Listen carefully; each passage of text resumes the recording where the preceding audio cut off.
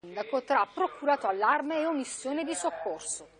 Sempre in fiera ha presentato il piano regionale per l'impiantistica sportiva a cura di Asset in collaborazione con il Dipartimento della Salute e del Benessere Sociale e dello Sport per Tutti, Osservatorio del Sistema Sportivo Regionale e CONI. Diversi milioni di euro stanziati dal Governo per la riqualificazione e ammodernamento di impianti già esistenti e la realizzazione di nuove strutture come il Palazzetto di Fasano e la piscina olimpionica di Taranto in vista dei Giochi del Mediterraneo del 2026.